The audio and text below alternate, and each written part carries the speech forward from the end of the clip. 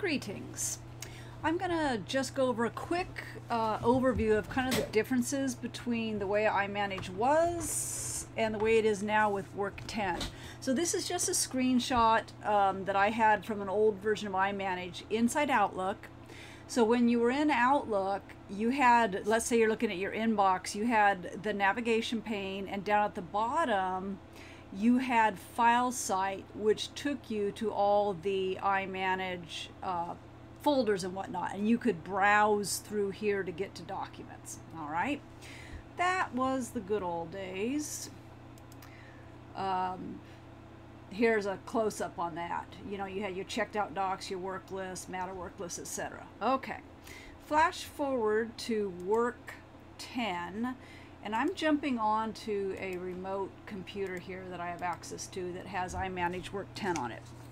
So, um, some things are similar. I'm in Outlook here, and one thing that's similar is the iManage email filing. That really has not changed much. They've enhanced it, but it hasn't changed much how you file emails using the filing bar. And then you could drag them. However, in the old days, we had down here at the bottom of our folders FileSite, which gave us that document work list, checked out documents, etc. That's not in Outlook anymore. Rather, now in Outlook, we have what's called the work panel. And I'm just going to turn it on. And um, it starts out what they call docked. So this, when I'm in iManage, I can turn on the work panel and have it docked in iManage over here to the right. And so this is now from within Outlook my window into iManage where I could look um, for documents, emails that have been filed, matters, etc. So this you could say replaced what was on the navigation pane, the FileSite. This work panel can be used in here in Outlook. Uh, most people don't seem to do that though, just because, you know, everything's taking up so much room and it's kind of small here. So you have other choices. You can keep it here or with the work panel, you can do what's called undock it and now use it as a full screen program. Let me get that out of the way. So I'll show you a little bit more about this in a second. Okay, so this is the work panel no longer docked inside of Outlook. And if I'm going to work this way when I go into Outlook, then I don't see it. Rather, I go to the work panel itself in its own window. Alternatively, when we say the web version, it used to be there was a web version that was kind of its own different thing, just like a a way to get to documents through the web page, and that can still be um,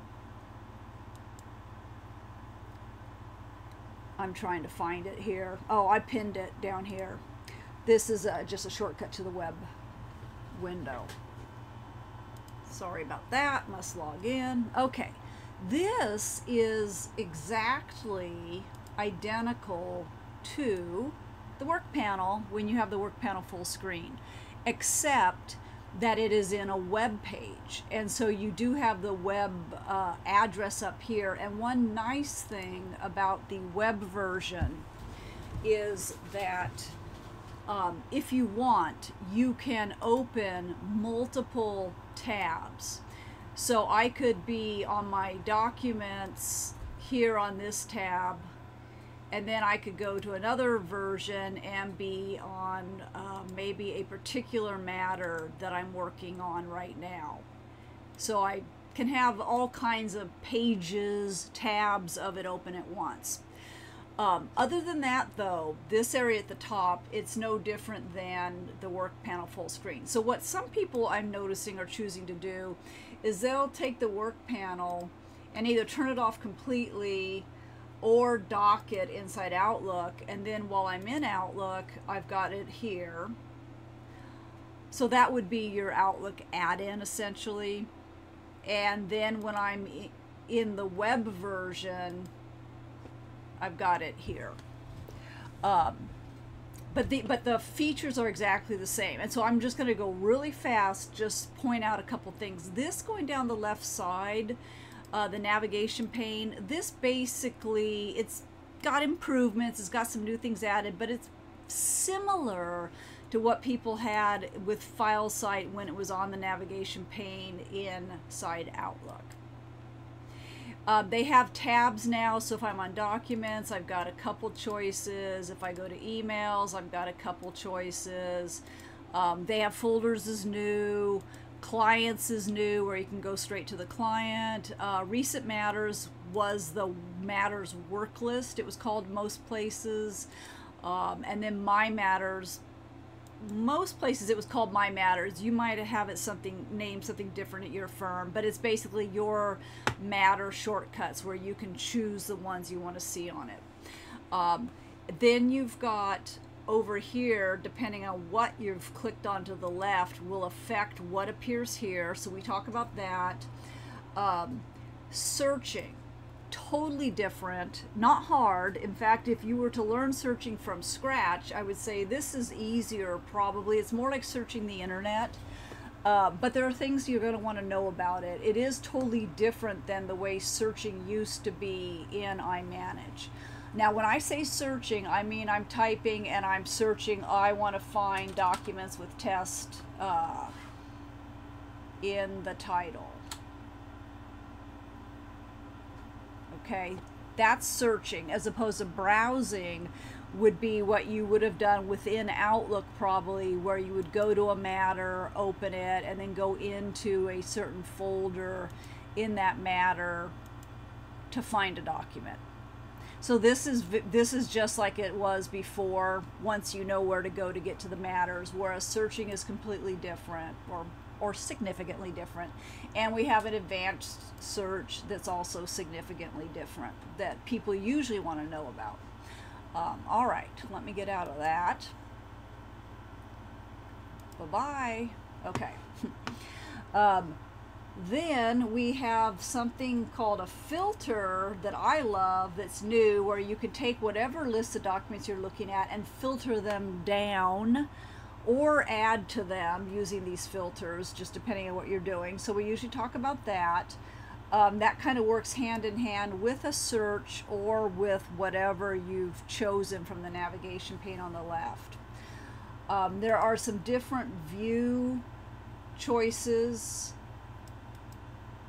that some people want to talk about. Um, just depends you know how in depth you want to get on that. Um, but you have different ways to view it, and you have an, a details panel that this will look familiar um, to what you could see before when you were inside Outlook. I'm going to jump back in Outlook, and in the past you would have you could have over here basically this the properties versions um, a little preview. It did have a history that has moved to a timeline um, that you can get to by right clicking the document. So we still have a document menu. This is very similar to before, although it has some new features. Um, here's the timeline that I was talking about. Uh, so that's kind of the difference between then and now. Um, and what I'm finding, people, people, it's it's very similar, but it's also very different in some ways. And people do seem to have a lot of questions about it. And then when they start using it, you know, it takes a little while to get used to it. Um, people seem to really like it, I'll tell you that, which is good. Um, then the last thing I would say is you also work from within your Microsoft Office programs, like Outlook was mentioned, or here I'm in Word. I want to open a document, I want to save a document. They've made some changes to this. Um, opening, some of it's similar, some of it's different. Um, saving has a couple differences um, that are somewhat significant that people are going to want to know about and then they're going to want to know how to save outside of iManage and open outside of iManage. Uh, so we usually cover that. Um, save as new version um, and save as are two separate things now. Save and sync is something new that we probably need to talk about. It's a good thing. Then last is the iManage footer and what are you doing about that? So um, your firm may have a third-party add-in that enhances what iManage does with the Doc ID, or you might just be using the little footer that comes with um, iManage. Um, and I think for the people I'm making this video for right now, I think that's already been taken care of and decided. But if I show this video to anyone else, uh, you definitely want to think about the Doc ID uh, before you go live. Um, so talk to me about that. I have a video all on that if you're interested. Um, okay, so in summary, when we're inside Outlook, it's not like it used to be. We have a work panel instead that we can keep docked in Outlook or we can open in its own window.